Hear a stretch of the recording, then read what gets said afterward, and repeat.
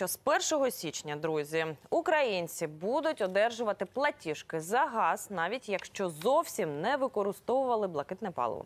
Платити доведеться за інфраструктуру. Мовляв, щоб споживач у будь-який момент міг відкрити комфорку і отримати газ, потрібно утримувати трубопровід, обслуговувати цілу мережу.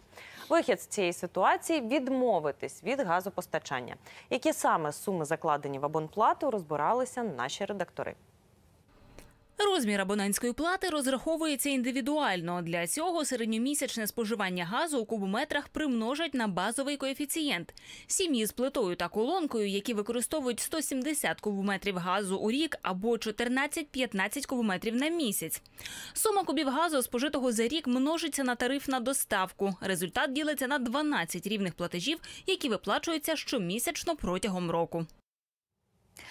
Пане Олексію, е, така система, вона в принципі продиктована. Вона, я хочу Вона пояснити, це, це, на мій погляд, правильне рішення. Я просто хочу пояснити, бо в нас в країні правильні рішення зазвичай робляться так, що всі Ніхто не розуміє, ніхто про що розуміє. мова. Дивіться, в незалежності від того, чи користаєтесь ви газом чи ні. До речі, так само і електроенергією і будь-яким іншим е, комунальною послугою працює інфраструктура. Труба. До вас йде труба, вона обслуговується. В трубі є тиск постійно, розумієте? Для Ви- того, щоб в будь-який момент я підійшла це і послуга включила є, так само, як і Да? Ви не користуєтеся, ви в будь-який момент ви ввімкнули, і там має бути 220, і ви маєте споживати в рамках. Абсолютно. Це коштує якихось грошей. Ну, сама можливість споживати, бо воно ж і ця е, послуга, вона вам ну, доступна. Да?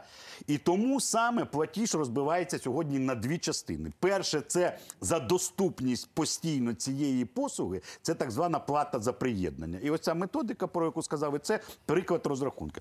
А друге, це за фактичне споживання товару конкретного або газу або води, або теплової електроенергії, яку ви споживаєте, або електроенергії. На мій погляд, справедливо. Єдине, що якщо воно ж раніше сиділо в тарифі, розумієте, тому саме сьогодні треба, щоб нам Тариф гаран- гарантували ті, хто встановлюють тарифи, що це ця е, гроші пішли з тарифу на товар, цей що вони вже не вкладаються, і що вони чітко визначають собівартість от цієї приєднання е, підключення. А товар так само ми мусимо контролювати ціну на цей товар або на куб газу, або на куб води, або на кіловат годину електроенергії. А, і, і, але тут є одна де один А дуже яка різниця, пане Олексію? е, дивіться. Ці, Якщо в тарифі ці- це було, а тепер відокремлено. я вас раніше це був облгаз. А зараз вам облгаз транспортує газ, розподіляє, Так. а продає його не облгаз. Вже продають інші структури. Ну, комерційні, там теоретично є ринок.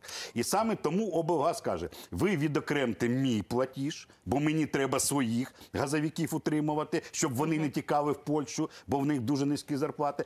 А і, і це буде мій тариф, який напряму до мене. А ось плату за газ в товарі це той, хто вам продає. Розумієте, я математик, мені це все дуже просто пояснювати. Наскільки це просто зараз приймати люди, поживемо, побачимо. І останнє, на превеликий жаль, людям зараз треба буде комісійні в банку заплатити по одному платежу за газ і по платі за розподіл по другому. От, власне. а це може бути 5-8 гривень. Ми з за, за Аллою однієї не математики, але ми користуємося усіма комунальними вигодами. Тому дивіться, що виходить. У нас є тепер дві платіжки: одна за транспортування, от по газу, та Бо інша за те. сукупно, набагато більше. Зараз ми будете чекайте, ми ще з цими не розібралися. Ми ще вас не відпускаємо. Добре, що прийшли. Е, власне, е, одна за транспортування, тобто от за обслуговування фактично цієї труби і моєї, ну фактично до доступу до комфорки. І друга історія це скільки я спожила газу. По, по лічильнику, базово. Так. Але 2 мільйони ще без Почекайте, не плутайте, що чекайте, лічильники це наступне запитання. А так, от, власне, субсидію держава буде надавати і на те, і на те, чи тільки на той газ, який я спожила.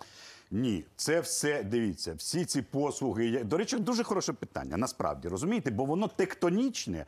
Бо, скажімо, по газу це ну на суму буде ну сумарний платіж.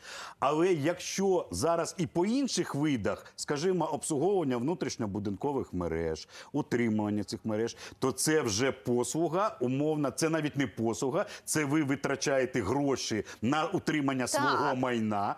І як на От, власне, моя гіпотеза у тому, що в Європі власне так працює, якщо ми говоримо про анбандлінг, тобто розділення самої послуги і транспортування, то дешевше для компанії, яка обслуговує мережі, те, що мені дають субсидію, не стає. Послухайте, компанія, яка вам щось постачає, вона взагалі вона не вона хоче взагалі забути про, про те, що субсидії. Вона не хоче мати мати стосунки Абсолютно. згідно з розумієте. Субсидії це стосунки державного бюджету і держави з малозабезпеченими, де за рахунок усіх платників податків держава допомагає малозабезпеченим е, платити і саме за житлово-комунальні послуги. Бажано це зафіксувати на рівні закону. В нас немає закону, і до сих пір діє постанова 96-го року, яка вже змінялася раз 50, до речі. Давайте зафіксуємо на даний момент про станом на 7.01 Ми говоримо про те, щоб субсидію держава надаватиме на обидві ці послуги в платіжки газу. Не тільки на газ, а взагалі на сукупний комунальний платіж.